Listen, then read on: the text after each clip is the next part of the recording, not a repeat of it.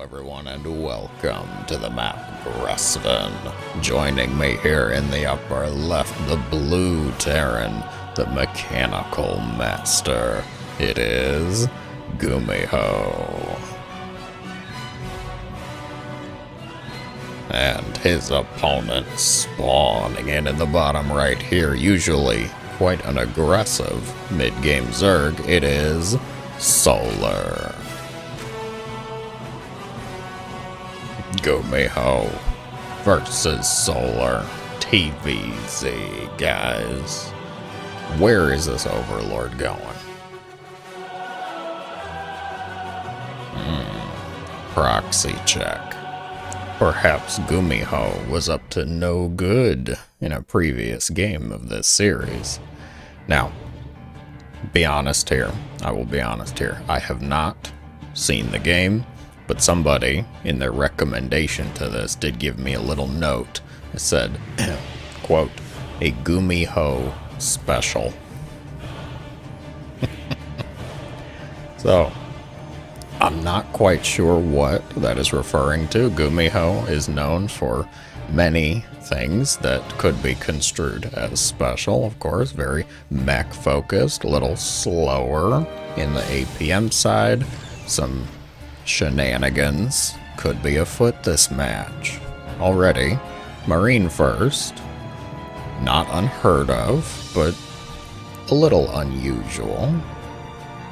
Typically, of course, you would see a scouting Reaper made. Reapers, of course, very useful in their cameraman role, or if you're Byun in the World Championship winning role.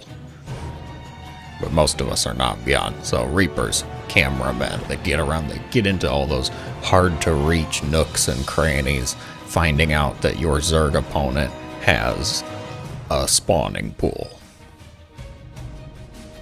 Like, wow, that's so informative. Yeah, it tends to be, doesn't it?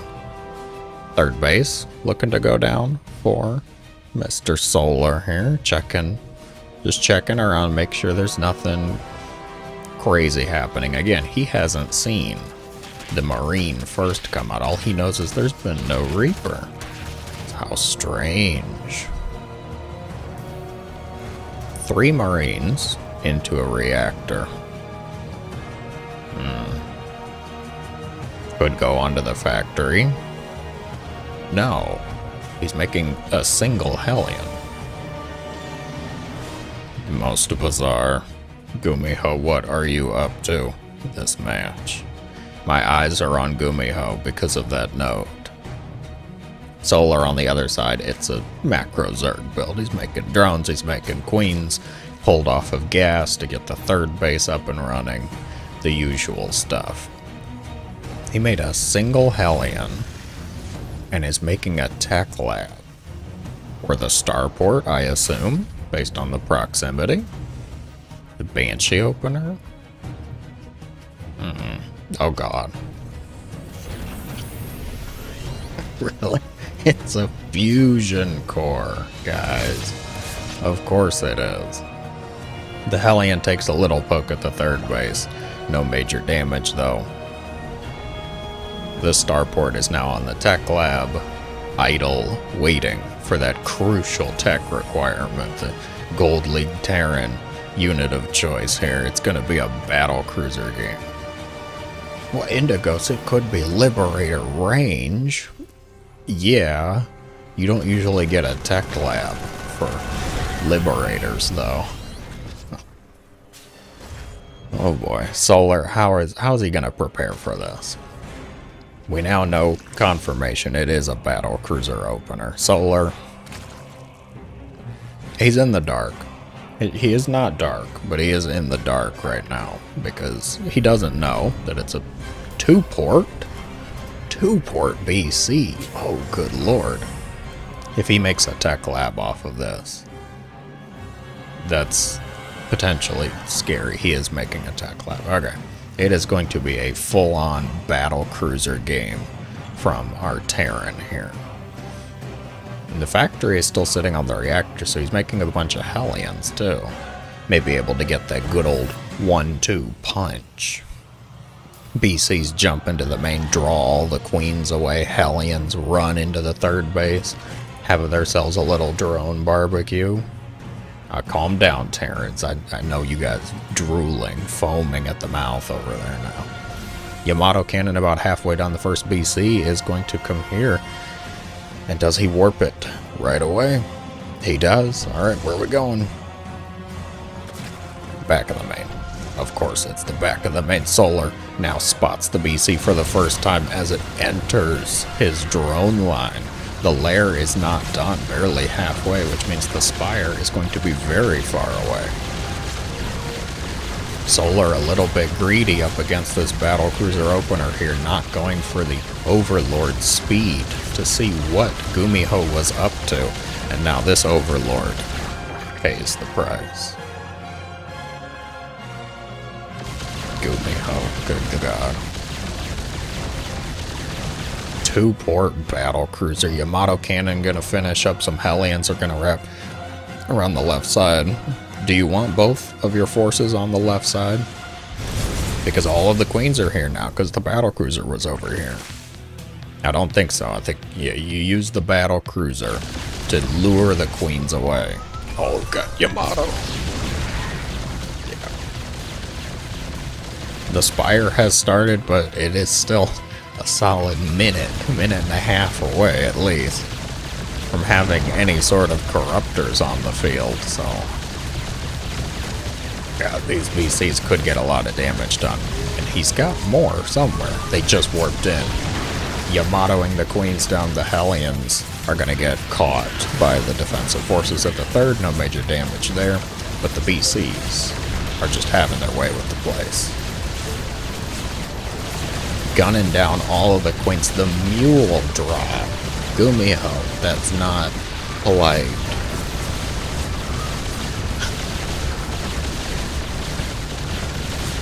But I wanted to use it for repairs. I wasn't trying to be rude. Gumiho, that's still not polite. We don't do that. You pull the BCs back, and then you drop the mule. A few roaches and some speedlings heading across to the other side. The BCs getting a bit low. Don't, do not, no, no, Gumiho. Loses a BC, gonna Yamato some queens.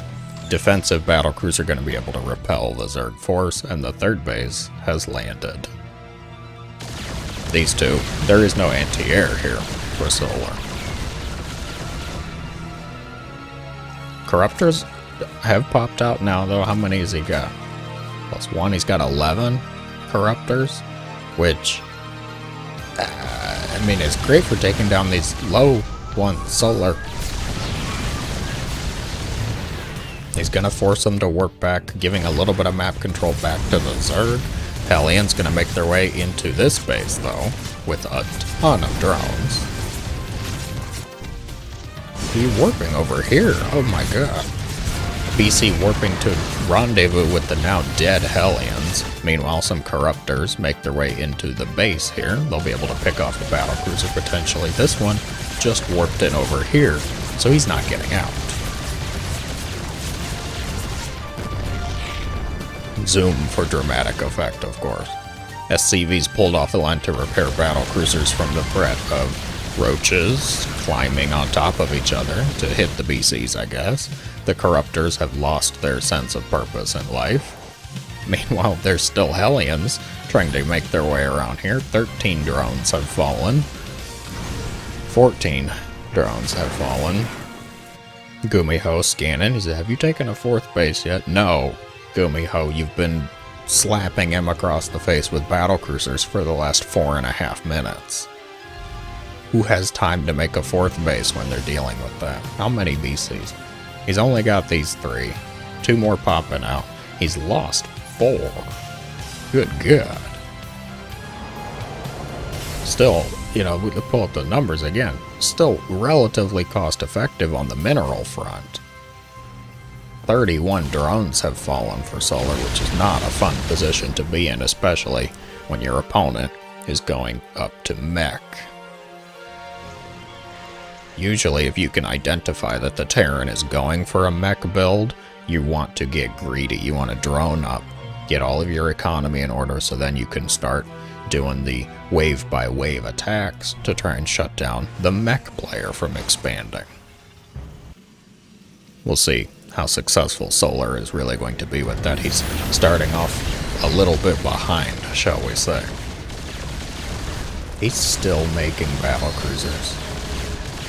Legit. The man has three Marines, five battle cruisers, and some Hellions that are probably not making it out of here.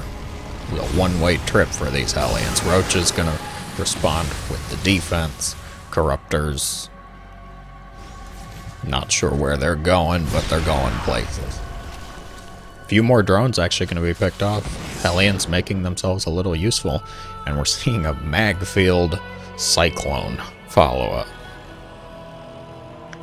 Not the usual pick. A Gumiho special indeed. Whichever one of you added that note. what a what a mess. What a disaster. The 5 BCs slowly trudge their way around the map, make their way into the main base. They're going to force the Corruptors, wherever they are, wherever the Corruptors are. He's going for the lair. He gets the lair, and he's going to warp out. One BC does fall, but getting the lair. Ouch. Do you start one up right away? He's getting Burrow from the natural, so he can't get it from there. The Hellions come in, get drone kills galore. The loss of the lair is rather big because now there's no more further tech that you can make. You can't go up to Hive for Vipers, which are very nice against battle cruisers, might I say. Solar. Solar falling more and more behind, it feels. He's going to remake... He's going to remake the lair. He's going to lose a few more drones over at the fourth base. The BC harass, the Hellion harass. It's... I was going to say such a good combo. I might still say it's such a good combo despite him losing that BC. This command center, there you go. I was gonna say it's a little off, he knows. Oh, you gun down those creep tumors despite using Hellions for, yeah, I was gonna say, where's the blue flame? Gumiho. Been using Hellions almost the entire game no bonus versus light units, it seems. It says I don't need it just yet. I'm, I'm getting my fourth base established in mining, fifth base landed. Gumiho looking to be in a fantastic position here. He has stopped making battle cruisers, though. Gold Terrans everywhere cry out, What? Why? Why would you stop making battle cruisers? Don't you know they're good unit? Hellions, dealing with a little bit of creep, forcing some roaches around. Ling's gonna open up the rocks, make sure that Solar has access to all the pathways that he can access. Did he get Neural? No. No Neural. So what's the plan with the infestors? Is it fungal? I assume it has to be fungal then to try and keep them from warping. Does fungal keep them from warping? I know oh, fungal keeps things from blinking. We're gonna assume it keeps them from warping. Been a long time since I thought, ooh, there's battle cruisers, let me get fungal growth. Usually, usually the play you see is neural. Get neural parasite, mind control, all of those battle cruisers. The Hellions decide to transition to Hellbats, making sure that they escape that corrosive bile as closely as possible. Is Gumiho just turtling up now? Has he just transitioned to the defensive mech style? It's tough to say because the battle cruisers can still do a lot of damage. He's got seven BCs. The scouting barracks. Find some roaches. Little skirmish with the Hellions at the bottom of the map here. Solar eventually did make his way to Hive. I don't see any Vipers, but he is going up to Broodlords, pardon me. Some Roaches. just outside of the range of the siege tank there, the Corruptor's going to fall to a barrage of Yamato cannons. These Terran armies that get so big and bulky, you have to zoom out to actually see anything. Solar taking a few losses there. Cost efficiency, definitely in favor of the Terran. Even despite losing some of the battle cruisers throughout the match, the Terran is quite far ahead in the economy setting. How many bases? One, two, three, four, five? It's a five base mech player, that's pretty scary. If you let your mech player get up that far, get settled defensively. Saw Viper. One Viper. Uno. Vipero. We've got it now, Zerg players. I don't know. The BC count up to 8, that's pretty heavy actually. You're gonna need a lot more. Roach Ravager trying to deal with the siege tanks. The combination of all of this, Gumiho really did a good job pulling all these pieces together.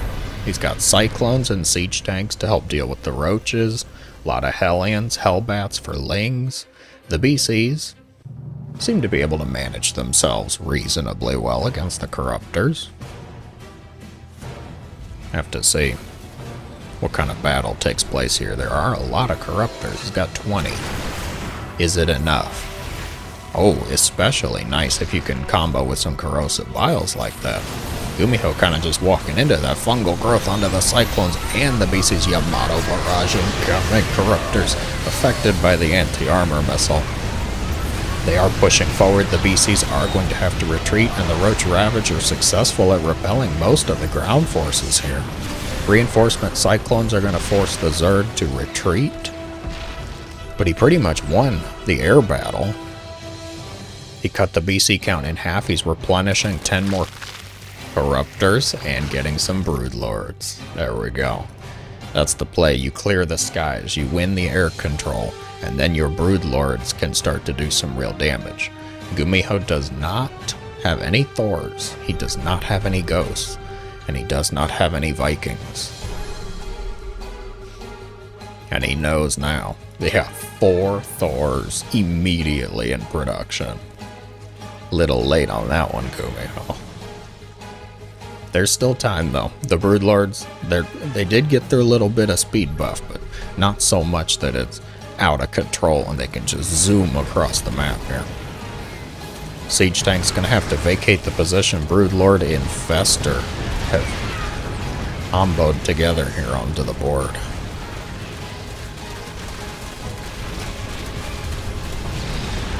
just let it burn. let it go down. Alright.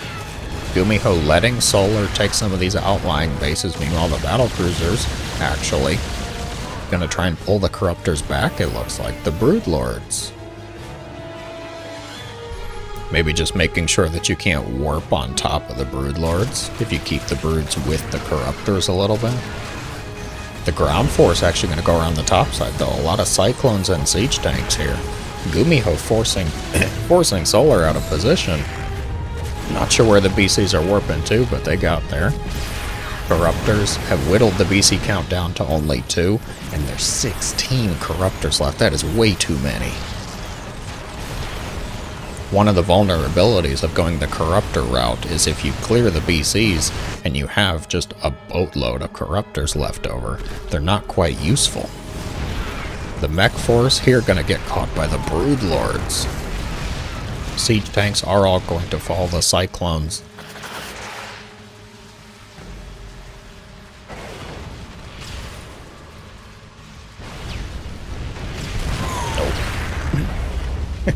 Thor's Thor's try to get there for the defense, not going to be able to. The two remaining battle cruisers are moving in. The Cyclones get underneath the Corruptors, that's always nice. 14 drones have fallen. I think the focus now is going to shift to the Thors. Neural. Their fungal growth, that's fine too. Cannot get out, but you still have to deal with the Thors here. He's making them five at a time. Good lord. Brood Lord count at 10.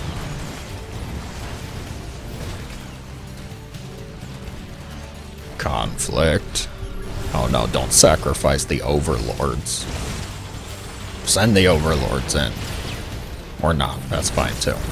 More broodlords being morphed in, and they're trying to get some damage done onto the Thors. If the broodlings can get a decent surround, and the roaches can provide ground cover.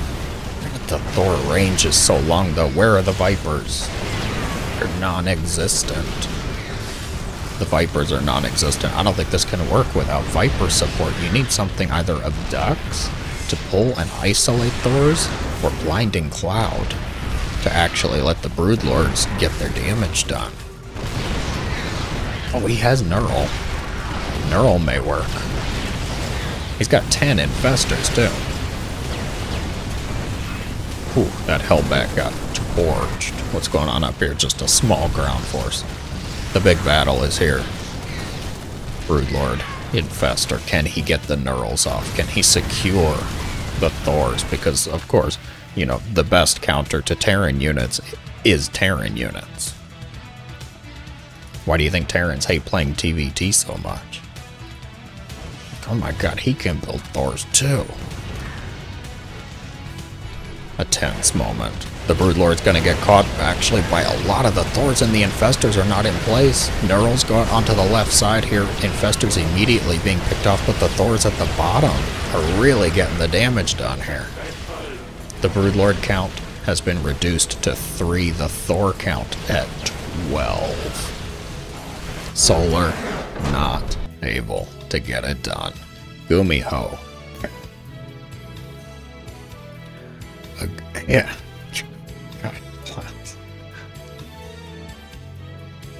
A Gumiho special indeed. That is all I have to say on that one. If you enjoyed, be sure to let me know in the comments below, guys. Thank you so much for watching, as always. I hope you have a great day.